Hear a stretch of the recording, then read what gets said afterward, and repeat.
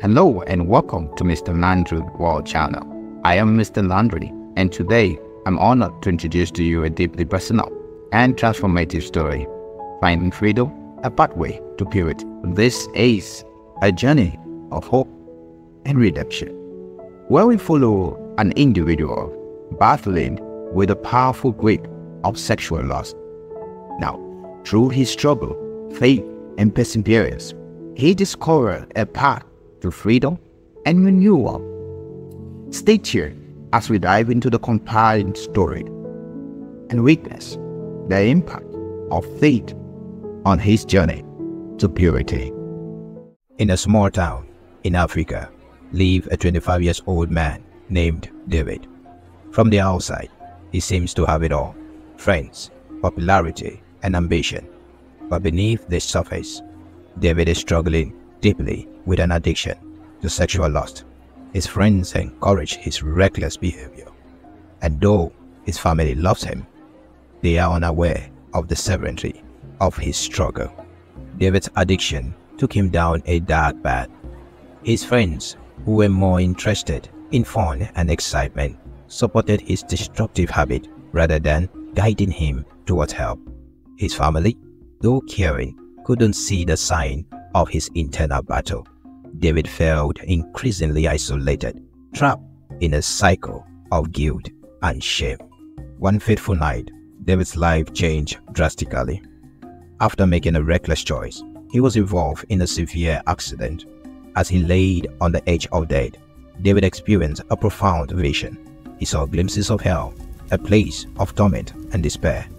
This near-death experience was a wake-up call, both horrifying and enlightening. In the midst of this vision, David encountered Jesus Christ.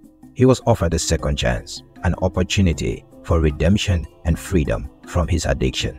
This powerful encounter made David realize the depth of his situation and the boundless mercy of God's forgiveness. Upon waking up, David knew he needed help. He reached out to a Pentecostal pastor, an old friend known for his deep faith and compassion. David invited the pastor to his home, away from critical eyes of his community, seeking guidance and support. The pastor arrived at David's home, bringing prayers of hope and deliverance. Surrounded by a few close family members who were now supportive, the pastor prayed fervently for David's release from his addiction. As the pastor prayed, David felt a powerful sense of liberation. The weight of his addiction seems to lift, replaced by a profound peace. This was not just a moment of spiritual release, but the beginning of a new chapter in David's life. His family, now understanding his struggle, supported him in his journey toward healing. Now, David's story is a powerful reminder of the transformative power of faith and redemption.